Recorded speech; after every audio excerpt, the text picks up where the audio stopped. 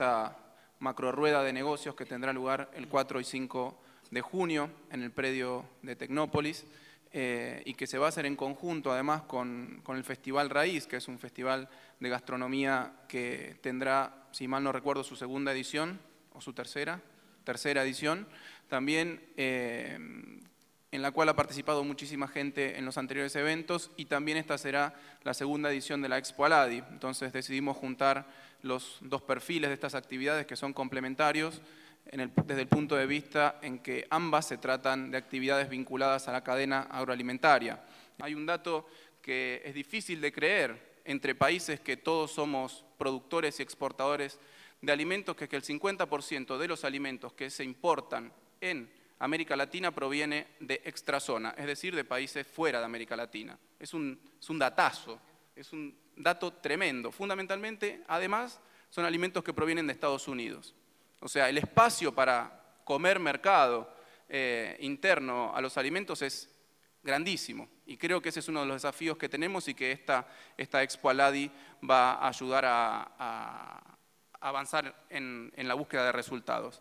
Y la cantidad de dinero, como dijo Bianco, no es lo decisivo, es empezar un camino, es aproximarnos a una idea estratégica que tenemos en América Latina si pensamos que la América Latina no es una virtualidad o no es solamente un espacio para las estadísticas compartidas, sino es un territorio a unificar, una comunidad que puede ponerse en valor con un proyecto de conjunto. Ustedes saben que hay cierta como a veces eh, timidez, cierta idea conservadora, que cómo hacer una rueda de negocio de 14 países, si solamente la experiencia ha mostrado rueda de negocio de 4 o 5. ¿Cómo se organiza?